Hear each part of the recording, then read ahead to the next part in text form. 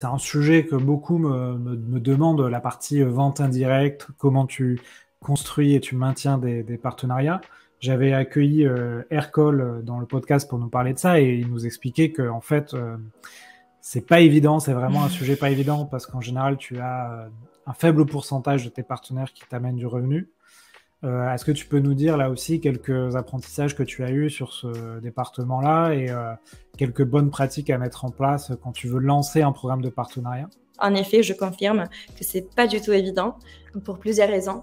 Déjà, il y a, le fait que ce sont des, entreprises externes euh, avec une culture d'entreprise très différente. Donc, et du coup, il faut arriver à, s'adapter. Après, il y a le fait que moi, j'ai dû euh, vraiment faire un effort pour euh, habituer nos sales à prendre du temps, comme je disais tout à l'heure, pour se former, etc. Avec les partenaires, c'est encore euh, c'est x10 parce ah oui. que tu es vraiment la dernière priorité.